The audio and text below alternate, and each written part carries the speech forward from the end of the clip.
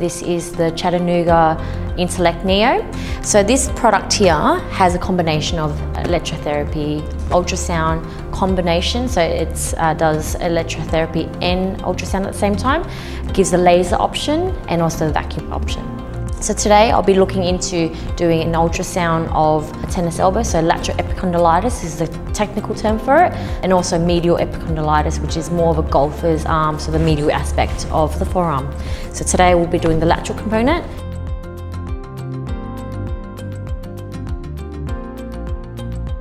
And then all I do is I spin circular motions Okay, so that just breaks up any scar tissue, whether it's an acute issue or it's an chronic issue.